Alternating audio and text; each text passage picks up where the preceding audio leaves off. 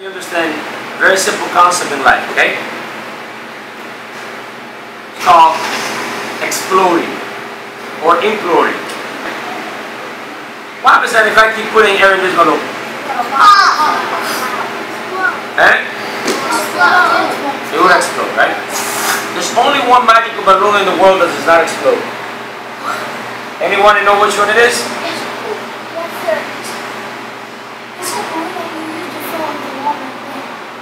No. That one exploded after. Huge. Like it's still exploding.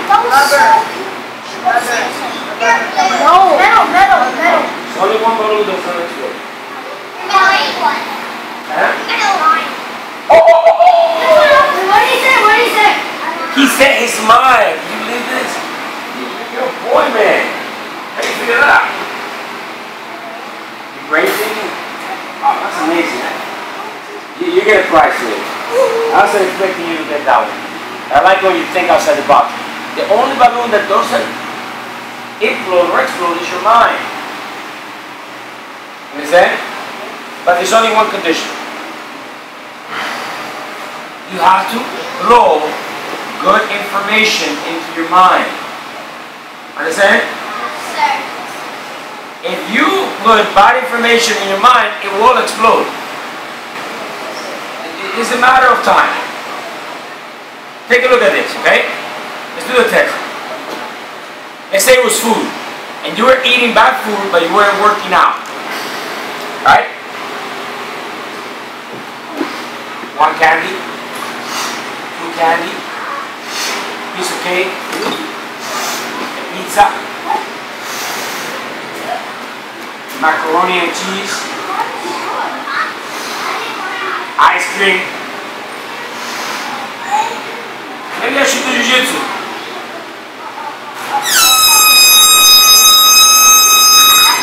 Let's keep eating. Ice cream. More ice cream. Cheesecake. More cheesecake. More pizza. Maybe we should do jiu-jitsu today. Nah. Let's keep eating ice cream. More ice cream. More ice cream. More pizza. More pizza. You should go over jiu-jitsu. That's it? You sure? Let's see if we're seeing iPad on the TV. I need some, I need some, uh, sir.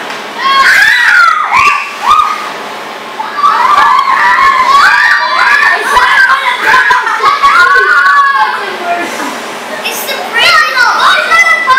It's the brain.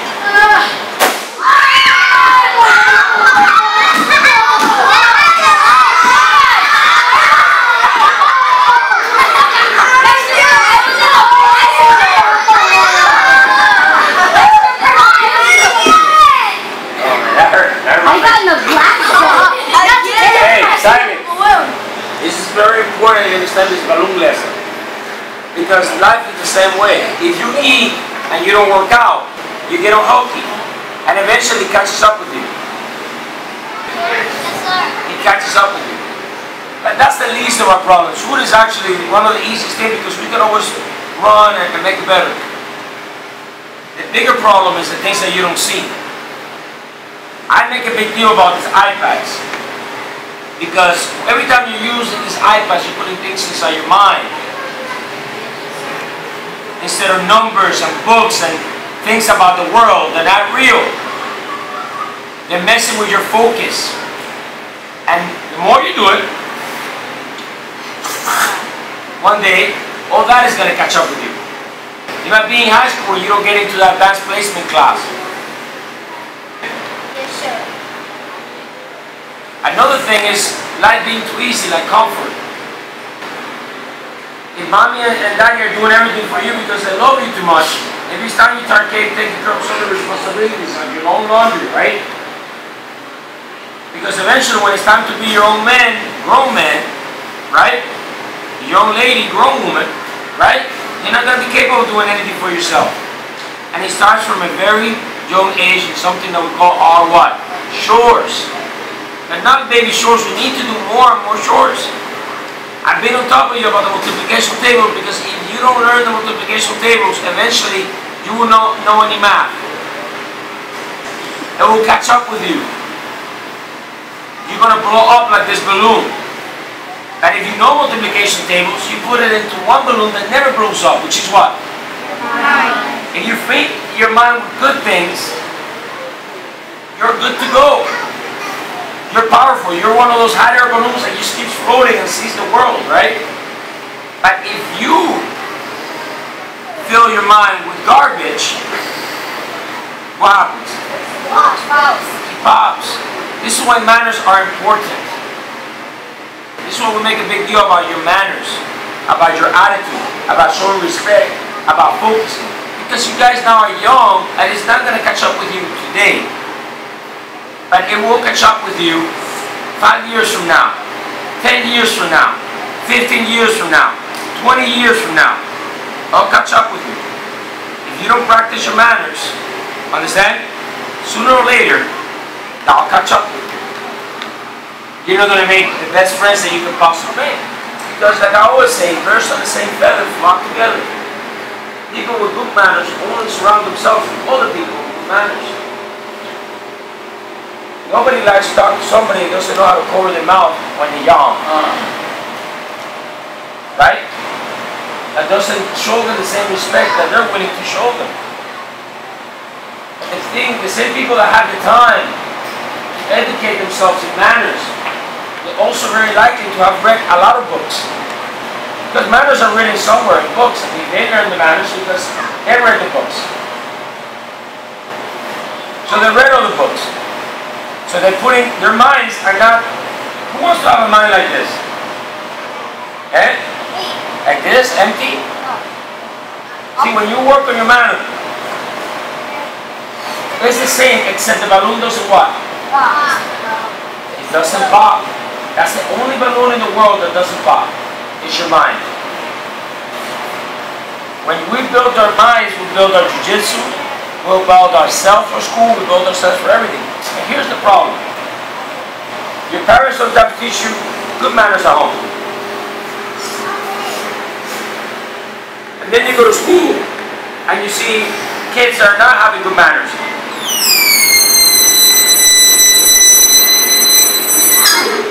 And then your parents come back and let's work on those manners. Master Roberto, yes, let's do it.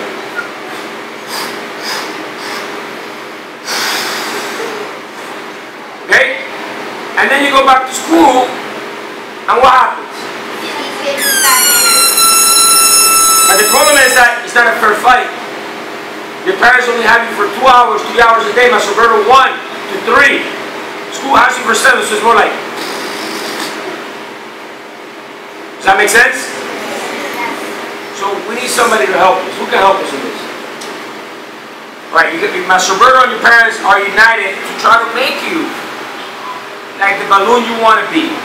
But the schools sometimes they don't they don't give you no homework in my opinion. Right? They let you get away with not looking at people in the eye. With Johnny. When was the last time you had a teacher correct your school about yawning with your mouth open? When? When? And before that? Never. One teacher, I mean, five, fifth, he's in fifth grade, so one. And it turns out his math teacher actually pretty strict compared to other teachers I've seen work from. Now, one out of five, or sixth grade in kindergarten counting, one out of six did the job of correcting a manner. When was the last time in school somebody, you know, corrected you for not sitting with good posture, or not looking somebody in the eye? Don't. So if, if, if, if let's say they have seven hours, and me and your parents we got four, how are we gonna make up the other three guys? What do we need to do to make sure that we put in good stuff into this balloon? Naresh, what do you think we should do? You gotta talk loud. Should we hire somebody else? I'm, hired by the parents to teach you, you understand? Yes. How?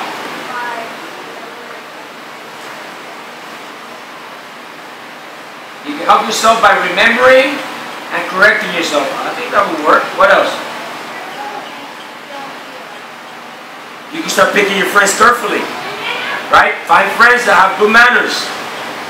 Right? Correct yourself. Those are two great uh, choices. What else?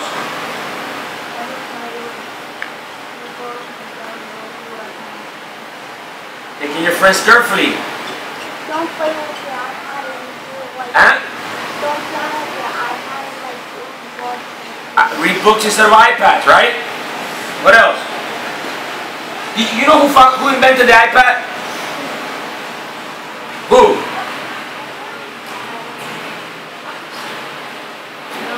Really, Einstein? Steve Jobs invented the iPad, right? Well, his company, okay? He was the main guy pushing it. Company is Apple, Apple Computers, right? Let me ask you a question. Do you think that Steve Jobs get iPads for his kids? Think about it. He had thousands of iPads with the best apps. You think for Christmas he gave him iPads? No. No, he didn't. Yes, he did. Absolutely not. Absolutely not. Understand? Steve Jobs never gave his kids iPads. You know why? Because the guy that made iPad thought that iPads were bad for education. That computers couldn't replace a teacher.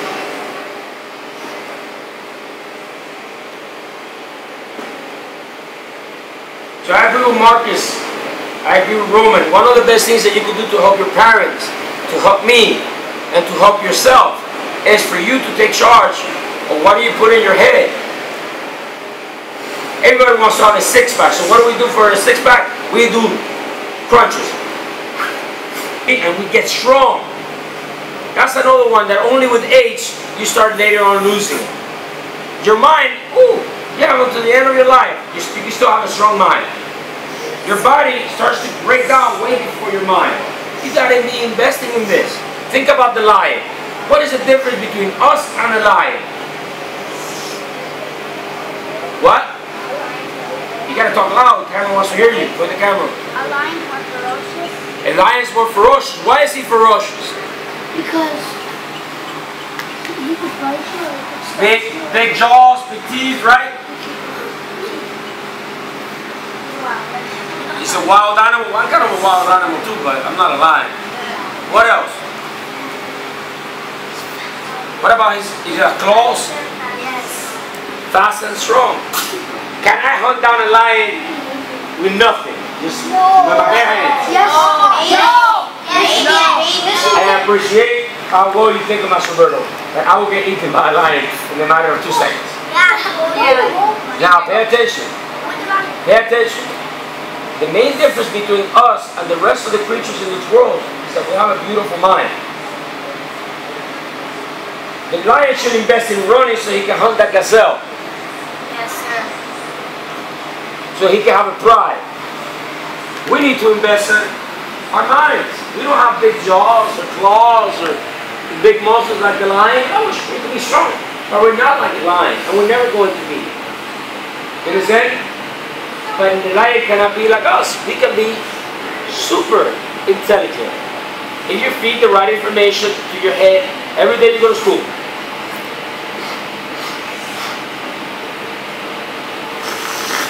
And then we make that information into something we call habits.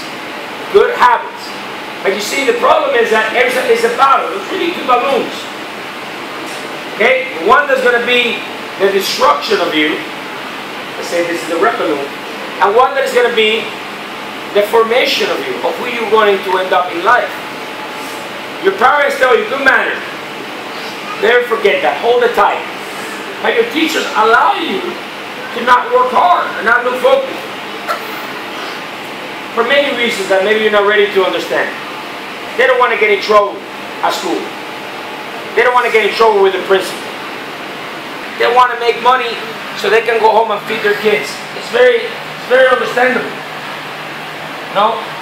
If a teacher says, I don't like the way things are going, she may lose her job. I don't think that's fair either. Understand? They put her in a difficult situation. But the moment you're, you're allowed, when teacher speaks, to sit the way Zach is, is sitting, and I do not correct that, you fix it. Your hands in your ears instead of posture. Not looking at me in the eyes.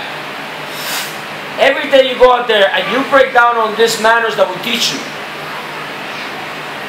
It's gonna be, you know, when you don't double check your work.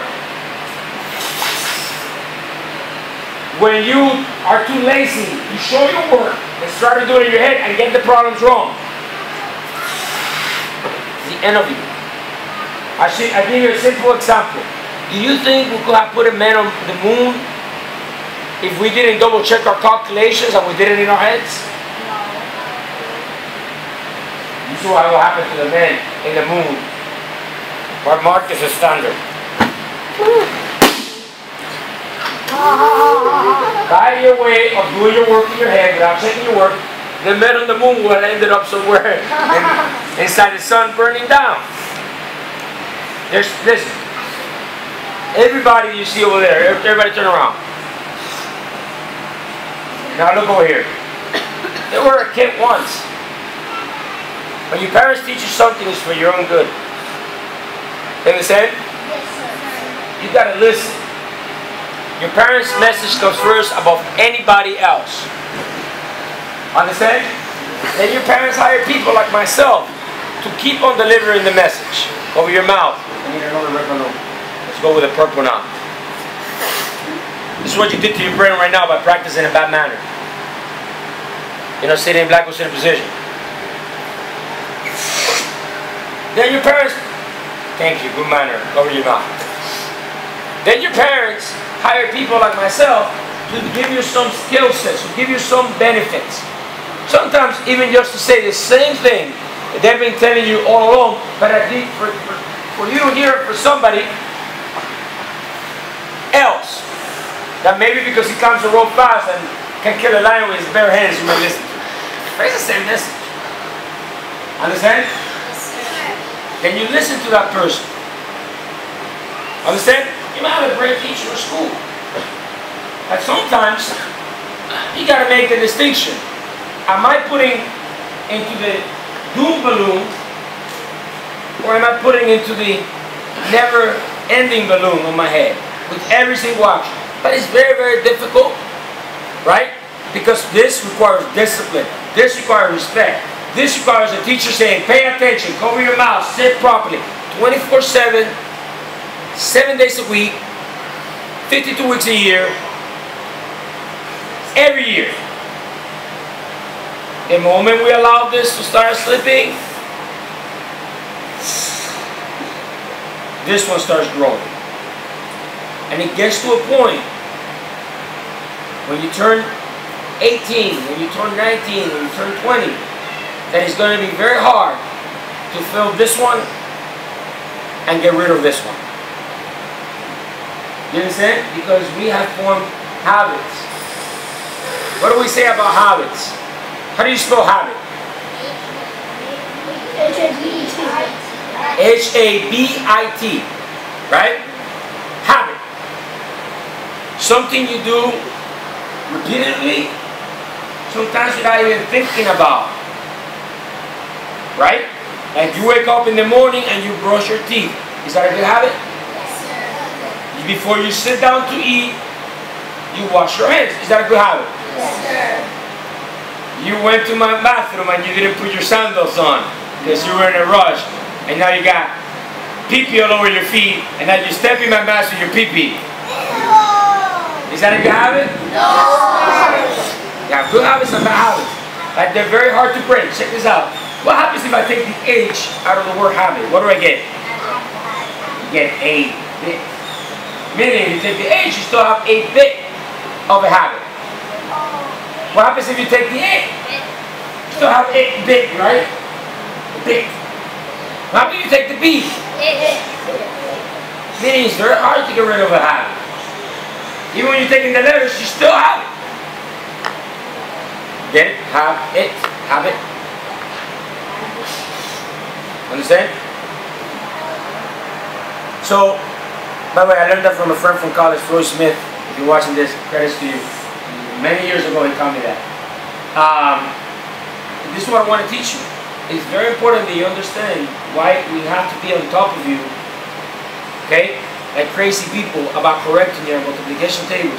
Because we want to put, okay, information into this balloon that is going to make you a black belt, that is going to make you a go-getter, that is going to make you a champion in life, it's going to make you successful in life.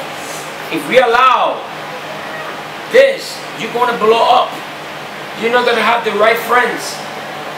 You're not going to make the right choices. You're going to be out of shape. Understand? You're going to be sad. Right now, not knowing your multiplication table sounds like not a big deal. But imagine when, you're older and you don't know them. People are going to think you're dumb. Is that what you want? Right? Every day that passes by, yeah, you know this multiplication table. Keeps growing. Understood? Sir. The people that love the people that love you the most are going to ask the most of you to put things here. Not here. Understand? I might look the meanest, the craziest, and the most demanding. But this is the reason why. Because in the brain balloon, you can never pop it. The other balloons of bad habits, they pop eventually. And then your life is a mess. Right?